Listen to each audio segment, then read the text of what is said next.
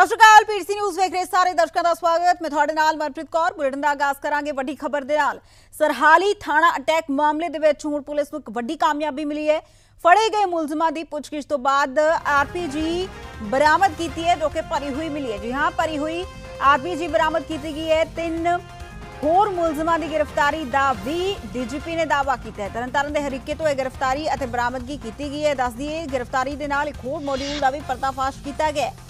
Philippines ਬੈਠਾ ਯਾਦਵਿੰਦਰ ਸਿੰਘ ਇਸ module ਨੂੰ ਹੈਂਡਲ ਕਰ ਰਿਹਾ ਸੀ। ਕੈਨੇਡਾ ਆਧਾਰਿਤ ਲਖਬੀਰ ਲੰਡਾ ਦੇ ਇਸ਼ਾਰੇ ਤੇ ਯਾਦਵਿੰਦਰ ਜੋ ਹੈ ਉਹ ਕੰਮ ਕਰ ਰਿਹਾ ਸੀ। ਸਰਹਾਲੀ ਹਮਲੇ ਦੀ ਅਗਲੇਰੀ ਜਾਂਚ ਦੇ ਵਿੱਚ ਇੱਕ ਲੋਡਡ ਆਰਪੀਜੀ ਦੀ ਬਰਾਮਦਗੀ ਤੇ ਤਿੰਨ ਮੋਡਿਊਲ ਮੈਂਬਰਾਂ ਦੀ ਗ੍ਰਿਫਤਾਰੀ ਦੇ ਨਾਲ ਫਿਲੀਪੀਨਸ ਆਧਾਰਿਤ ਯਾਦਵਿੰਦਰ ਸਿੰਘ ਦੇ ਵੱਲੋਂ ਇਹ ਸਭ ਮੋਡਿਊਲ ਜੋ ਹੈਂਡਲ ਕੀਤੇ ਜਾ ਰਹੇ ਨੇ, ਉਹਨਾਂ ਦਾ ਪਰਦਾਫਾਸ਼ ਜੋ ਹੈ ਉਹ ਕੀਤਾ ਗਿਆ।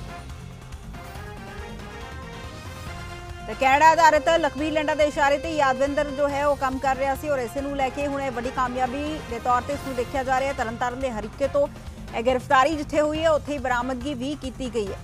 ਤਾਂ ਤਿੰਨ ਹੋਰ ਮੁਲਜ਼ਮਾਂ ਦੀ ਗ੍ਰਿਫਤਾਰੀ ਦਾ ਡੀਜੀਪੀ ਦੇ ਵੱਲੋਂ ਦਾਅਵਾ ਕੀਤਾ ਗਿਆ। ਤੇ ਸਰਹਾਲੀ ਥਾਣਾ ਅਟੈਕ ਮਾਮਲੇ ਦੇ ਵਿੱਚ ਪੁਲਿਸ ਨੂੰ ਇੱਕ ਵੱਡੀ ਕਾਮਯਾਬੀ ਜੋ ਹੈ ਉਹ ਮਿਲੀ ਹੈ। ਫੜੇ ਗਏ ਮੁਲਜ਼ਮਾਂ ਦੀ ਪੁੱਛਗਿੱਛ ਤੋਂ ਬਾਅਦ ਆਰਪੀਜੀ ਨੂੰ ਬਰਾਮਦ ਕੀਤਾ ਗਿਆ, ਜੋ ਕਿ ਭਰੀ ਹੋਈ ਮਿਲੀ ਹੈ। ਤਾਂ ਡੀਜੀਪੀ ਗੌਰਵ ਯਾਦਵ ਜੀ ਨੇ ਟਵੀਟ ਕਰਦੇ ਨੇ, ਲਿਖਦੇ ਨੇ, ਸਰਹਾਲੀ ਹਮਲੇ ਦੀ ਅਗਲੇਰੀ ਜਾਂਚ ਦੇ ਵਿੱਚ ਇਨਕਲੂਡਡ ਆਰਪੀਜੀ ਦੀ ਬਰਾਮਦਗੀ ਤੇ ਤਿੰਨ ਮੋਡਿਊਲ ਮੈਂਬਰਾਂ ਦੀ ਗ੍ਰਿਫਤਾਰੀ ਦੇ ਨਾਲ ਫਿਲੀਪੀਨਸ ਆਧਾਰਿਤ ਯਾਦਵਿੰਦਰ ਸਿੰਘ ਦੇ ਵੱਲੋਂ ਹੈਂਡਲ ਕੀਤੇ ਜਾ ਰਹੇ ਇੱਕ ਸਬ ਮੋਡਿਊਲ ਦਾ ਪਰਦਾਫਾਸ਼ ਹੋਇਆ ਹੈ। ਕੈਨੇਡਾ ਆਧਾਰਿਤ ਅੱਤਵਾਦੀ ਲੰਡਾ ਦੇ ਨਿਰਦੇਸ਼ਾਂ ਤੇ ਯਾਦਵਿੰਦਰ ਸਿੰਘ ਮੋਡਿਊਲ ਨੂੰ ਹੈਂਡਲ ਕਰ ਰਿਹਾ ਸੀ। ਪੰਜਾਬ ਪੁਲਿਸ ਮੁੱਖ ਮੰਤਰੀ ਭਗਵੰਤ ਮਾਨ ਦੇ ਨਿਰਦੇਸ਼ਾਂ ਦੇ ਮੁਤਾਬਕ ਪੰਜਾਬ ਦੇ ਵਿੱਚ ਸ਼ਾਂਤੀ ਅਤੇ ਸਦਭਾਵਨਾ ਬਣਾਏ ਰੱਖਣ ਦੇ ਲਈ ਵਚਨਬੱਧ ਹੈ